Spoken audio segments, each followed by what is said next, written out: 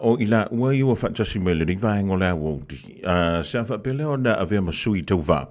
O le tauvanga, ua whaingoina lea o le Celebrity Island. So we've got some celebrities coming up uh, your way this afternoon, uh, ladies and gentlemen.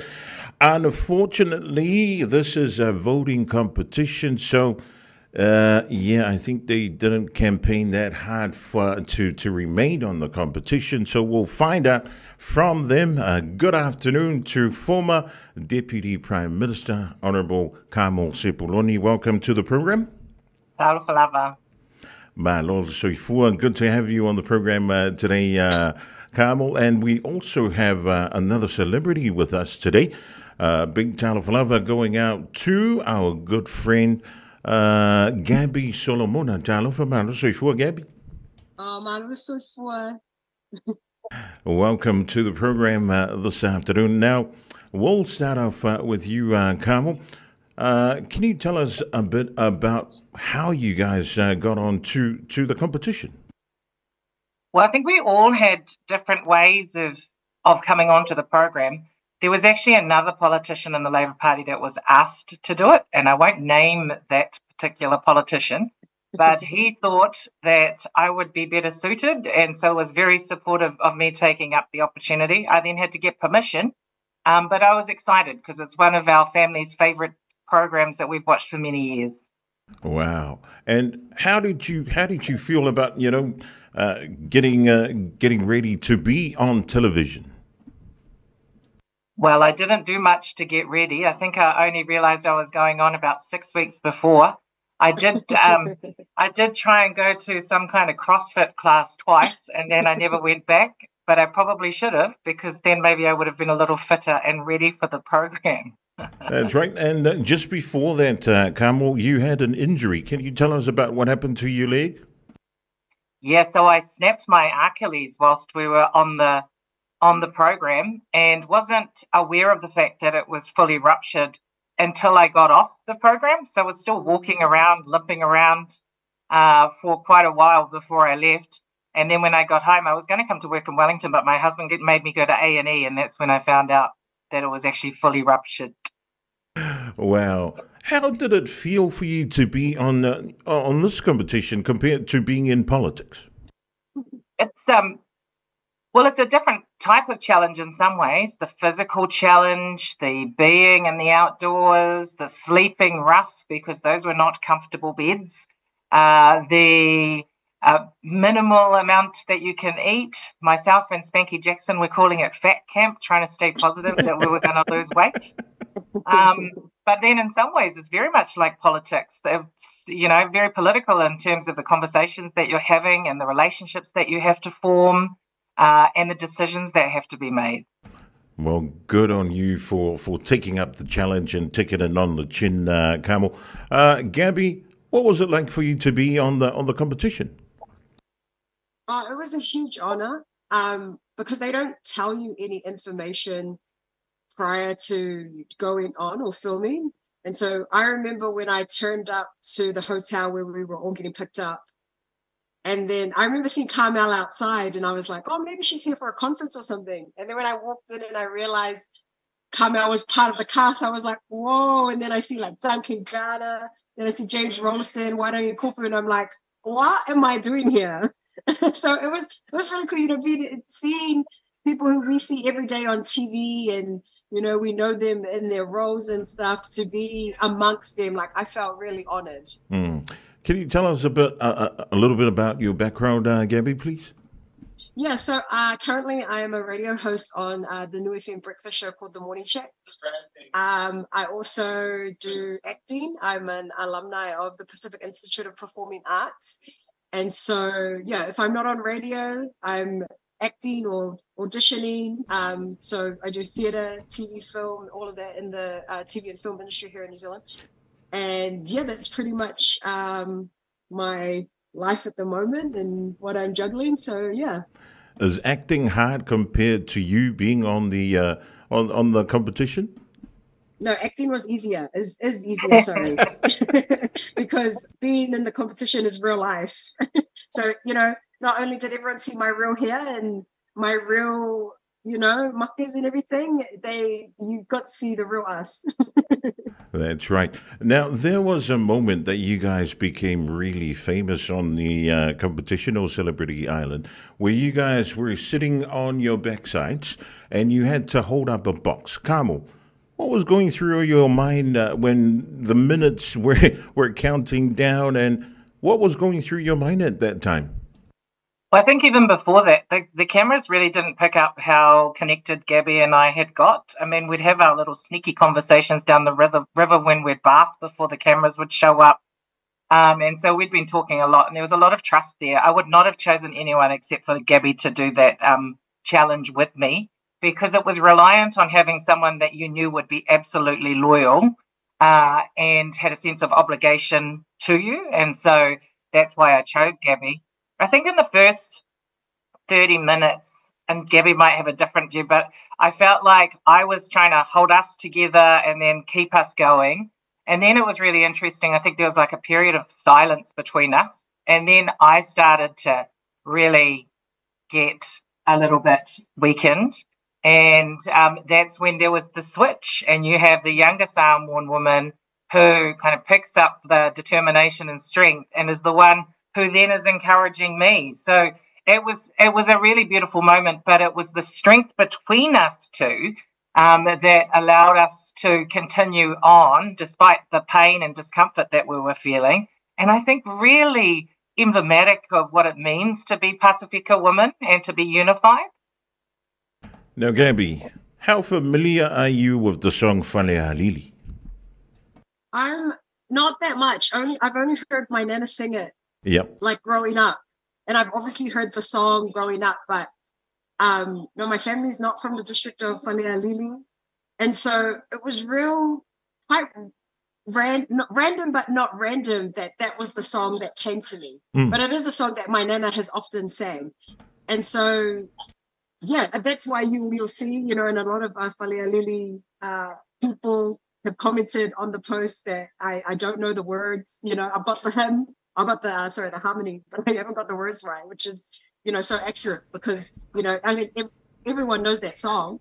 I just didn't know the words, but yeah, that was the song that came to me, and it's been really beautiful learning about um, the district of Falealili over the over the weeks. I've loved I've loved being educated about like what that song means, and I learning what the song means in terms of like it's a song used for strength and for victory and all of that like i was like wow how fitting that uh, that was the the basic that came to me in that time to help us in that challenge Did you ever think at the time that people will be commenting and saying, Gabby, you got it wrong, you got this and that?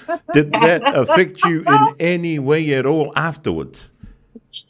i well people that know me I, they know that i'm who are familiar with me they know that i'm used they're used to me singing singing i can't sing I'm probably one of the few Samoans that cannot sing. So they're used to me singing, they're used to me being loud, used to me singing my own words. I don't think anyone expected me to have sung in that moment. That was mm. such a, you know, usually I'm singing from my mouth, which is like just noise. And this song came from my heart in that moment. So yeah, it was it, it was very different this time around. Even with the group singing when we weren't on camera, uh, Gabby yeah. was with the Palangi songs. Gabby was singing the wrong words all the time. So, so very on brand. well, good on you guys for putting yourselves out there. Just before we wrap up, uh, Carmel, what's your take on uh, what's happening in Samoa with the effect of the uh, Navy vessel from New Zealand? And is the government, is the New Zealand government doing enough for the environment and for the people of Samoa at the moment? We simply just do not know. They have not been very transparent and are not sharing much information with the general public or with us as opposition MPs. We are really concerned because at times there's been contradictory reports. The Samoan community on the ground, the locals, are saying something different from what we're hearing from the New Zealand politicians. And um, we're watching it very closely. My colleague, who's our spokesperson for Defence, Peeni Henare, uh, asked a lot of important questions of the government yesterday we understand that there's an inquiry, but they should still be free flowing with the information that they can give. And we just are not confident that that's been the case. So, you know, primarily we're concerned about Samoa. uh, particularly the villages that are affected, um, and of course for our environment. Um, but we have a job of holding the government to account, so we will keep doing that as opposition members of parliament.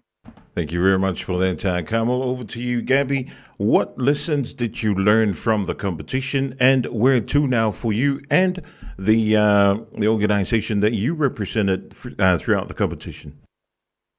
Oh, I spoke about this on my Instagram the other day. The biggest lesson that I um my experience on Celebrity Treasure Island was I, was so lucky to be in the same team as Carmel, and I'm not, and I'm not just saying this, Carmel and Wairangi Koopu, because they really showed me how to navigate those spaces, those sorts of situations as a Pasifika person and with integrity. Because I've watched the game in the you know in the last few years. I've seen how it's played. I know how it's played. To have watched them in the way that they played the game, the way that they went about things, which has never been done before on the show, like it was a real uh, reality check and a real wake up call to me. Say for me, it was like, oh, I can navigate in these spaces, not just the game, but outside in the industry that I'm in, in my everyday life as a Samoan woman. And the values that my family have taught me, I don't have to leave that at the door. I can apply that to my everyday life. So that's the biggest takeaway for me. Um, I was very honored to represent Taime Pasifika, who is a, quite a new charity um, set up to support Pasifika people with cancer. And so to be able to have one, some money for them to bring so much more awareness um, to that charity, you know, I think we all know someone who has been affected by cancer, you know, whether that's in our close family, a friend, everyone knows someone. And so to be able to have been on a major platform like CTI and bring so much awareness to it, let our people know that there is support out here um, for people with cancer and that there is help and that we're not in the in that journey alone. Um, was yeah, it was just a real privilege to be able to do that. Mm. And finally, uh, Carmel, what's your uh, what was your takeout from the competition, and what's your advice for those uh, Pacific people, or especially our Samoan people, who would like to be uh, part of this competition if they ever get the chance to be on Celebrity Island in the near future? Oh, well, I mean, I think for me, it really is similar to Gabby in that it was a lesson on how we can be ourselves and live our values in any kind of space, even if it is a show like this, where in the past we would have seen really sneaky um, types of dramatic behavior and whatnot, and we didn't want to operate like that. But also, it was the the generational lesson that I got out of just that challenge with Gabby and the conversations and the time that we had um, on the show. You know, I may and Wairangi, um, maybe a little bit older, maybe been a little around a little bit longer. Um, but there's this wonderful generation coming through. Um, Gabby, my favorite, of course, but others like Baba and JP and uh, James, uh, who are that next generation of leaders uh, who we can rely on. And I think the challenge was really um, symbolic of that, um, who are strong, who are talented, who are amazing. And it just gave me quite a sense of peace um, recognizing that on the show that this is the new generation that's coming through and we can be proud of that generation. Mm. Will we be seeing uh, Carmel with uh, Dancing with the Stars anytime soon? Never. I tell you what, there was one time on the show where Spankie Jackson was taking everyone through a dance routine and they were all twerking and everything else. And I want to just say that I retained my dignity and would not participate in those types of moves and actions. Gabby did, but she's young. She's allowed to. All right. It's, it's been a pleasure having you, uh, uh, former Deputy Prime Minister Carmel Sepuloni, on the program this afternoon. And finally, over to you, uh, Gabby. What's the final word for people who are wanting to be in the next Celebrity uh, Island uh, competition? Oh, I think to any of our other Pasifika people who get the opportunity to go on uh, Celebrity Treasure Island, um, go and be yourself. We don't, you don't have to leave your Pasifika-ness at the door. What you learn at home, you don't have to leave it off the island. You can take it with you. Um, and it's just the, I've loved so many families who have, you know, messaged me or come and spoken to me about this is the one hour in the day where all our families get to sit down together and watch TV together. And so, you know, just remember that when you go on there, is that they get to see themselves in us, they get to hear, you know, how we talk and all of that. So be proud and uh, represent well. Thank you very much for that, uh, ladies. Uh, Gabby Solomona from uh, New FM, as well as Honorable Kamo Sepuloni. Thank you very much for being on Radio Samoa today, and uh, thank you for sharing your uh, experience with us here on Radio Samoa. All the best, and uh, one thing from me make sure that you learn your Samoan and keep on learning your Samoan so we can speak in Samoan in the near future. Have a lovely afternoon, and we'll catch you guys Bye. later. Whaftai lava. Yeah, so i foi ia. O le naua mai mo mai le tātou turu i le uh, whaletua i a kamo se puloni, ia, o ia sa ave mo mo fo i ma sui pa le mia o le tātou malo i nei New Zealand, i le whinga malo le leipa, uh, le ngatai lea o le tumitai i a Gabby Solomona, o ia ngalue i le uh, New FM, i lalo le pulenga le a foi. Uh, Pacific Media Network ia pole le family ia le ma le lima tulu tasi pi ai.